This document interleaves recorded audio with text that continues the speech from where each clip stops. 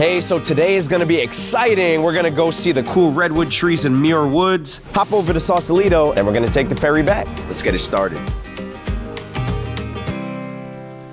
So we finally got here. We have about an hour and a half on our own to explore. Even though some of these trees have fell and technically died, there are still a lot of things living on them. Like you could see moss growing on the trees that have fell. It just feels like a lot of life is here. It feels very, very lively, even though it's so quiet. The only thing you could really hear up here are the birds, fresh air, and the dripping rainwater. If you like relaxation, this is it. There it is, the mighty redwood. You really feel as small as an ant being next to one of these guys. They are giants. Muir Woods was incredible.